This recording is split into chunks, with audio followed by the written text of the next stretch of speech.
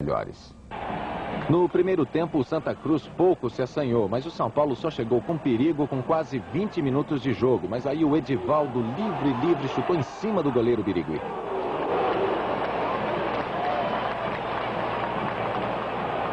O Santa Cruz no ataque. Depois da rebatida errada de Ronaldo, Dadinho também ficou livre, chutou mal e o Rojas fez a sua primeira defesa no São Paulo. E no banco, ao lado do Cilinho, o outro goleiro Gilmar estava ali de olho.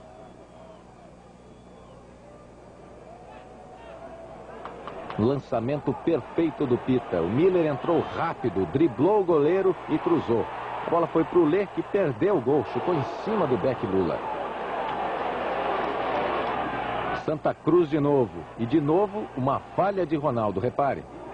Só que nessa o Rojas foi mais esperto e nem deixou o Dadinho chegar na bola. Aí saiu o Bernardo machucado e entrou o Paulo Martins.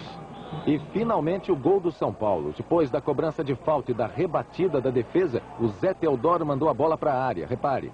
Aí o Lê ajeitou de cabeça e o Miller completou com categoria.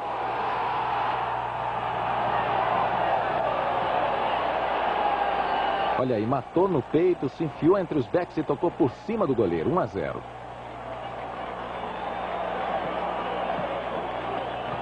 Outra falha da defesa do São Paulo, agora com o estreante Rojas. Ele bateu roupa nesse chute do Gilson e na confusão outro erro. Zé Teodoro não rebateu e o Sérgio China chutou na trave. Depois, perdeu de novo.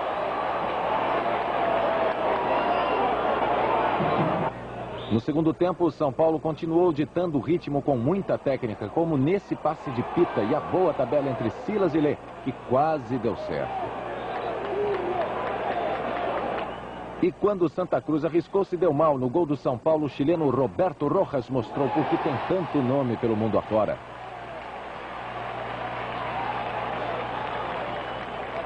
E depois dessa jogada no escanteio, Roberto Rojas, não satisfeito, matou a jogada de uma vez.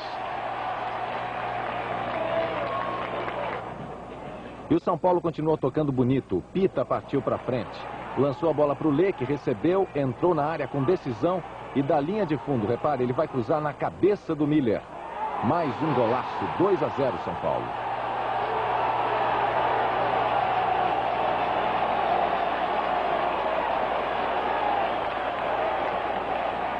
Outra jogada pela esquerda. Dessa vez o Edivaldo tabelou com o Lê. Recebeu de volta e cruzou na área. O Silas só ajeitou e o Miller completou. Final São Paulo 3, Santa Cruz 0. São Paulo líder do campeonato com 5 pontos ganhos e Miller artilheiro com 5 gols. E com esses números, principalmente para os São Paulinos, uma boa noite.